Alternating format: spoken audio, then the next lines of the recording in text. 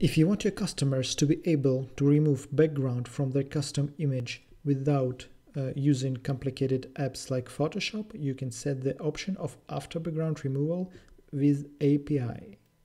Here is how to do it. First, in a list of the custom products, press Global Settings, scroll down to this link, press it.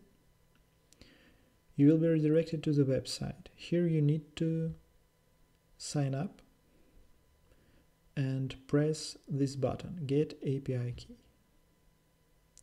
Show, copy it, and paste in this field. Save.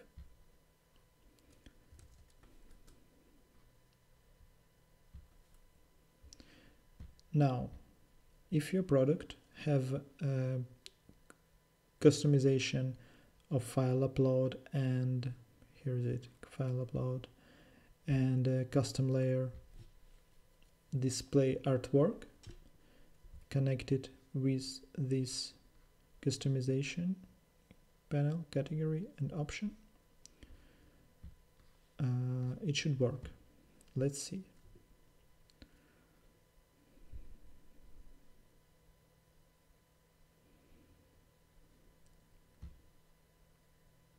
let's upload image with easy background.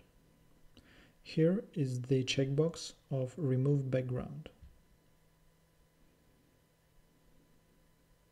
Here background completely removed